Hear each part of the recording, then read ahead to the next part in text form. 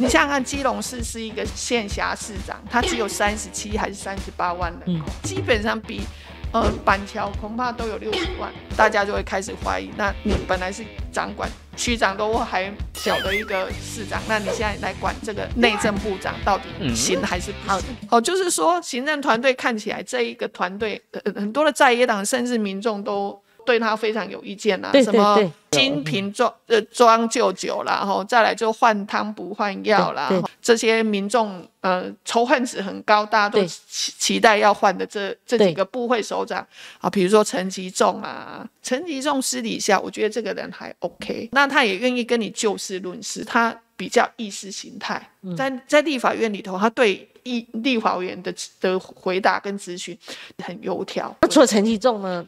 其实团队里头大家比较有有意见的，呃，有意见的之前就有几个意识形态很重的嘛，一个是陈吉仲，一个是卫福部部长。薛瑞元是嘴炮王，但也没换掉。对，嘴炮王。然后你想想看，卫福部其实是。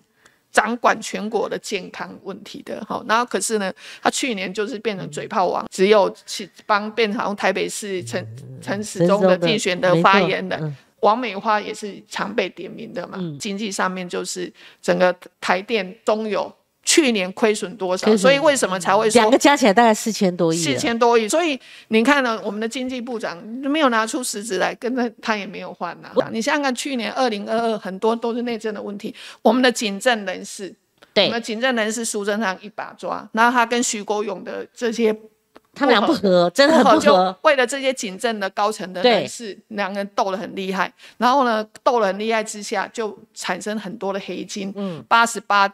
枪的一个枪击案，对，这些都是跟地方的黑金纠葛在一起。对，你寄望一个呃林佑昌五十一岁，好中生代的要出来掌这个呃全国最大的对，好内政部长，你觉得他可以吗？你想想看，基隆市是一个县市县辖市长，他只有三十七还是三十八万人口，就是一个小的人口，他基本上比呃板桥恐怕都有六十万，大家就会开始怀疑，那你本来是掌管。区长都还小的一个市长，那你现在来管这个内政部长到底行还是不行？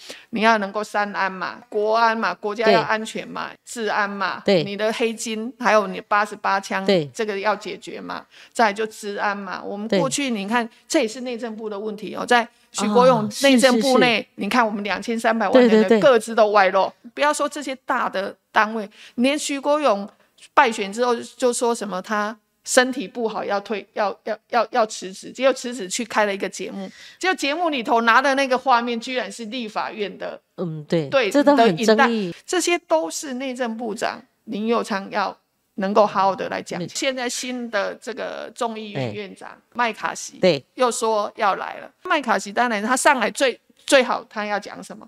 他当然是要为了制制造自己的声量，他就说他要来访台，访台那好，大家都串了蛋，串了蛋。所以现在民进党是很高兴呢，还是抓了一蛋？现在台湾为什么从去年你看，连欧洲的一些小国家，或者是美国或者哪里，他们都很喜欢把台湾拿出来讲，因为在地缘政治上面呢，俄乌战争的情况之下，讲台湾就很容易上国际的新闻。所以麦麦卡锡。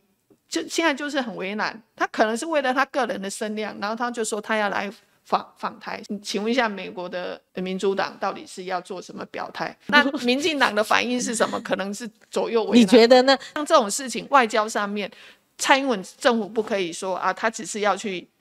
想要有国际上面的一些名声，他希望大家来，我们国人也都希望大家来，全世界都来关注台湾，我觉得这是对我们台湾是好事。嗯，但是呢，关注之下，我们还是要很重要的维持一个我们国内的安全，也是更重要的。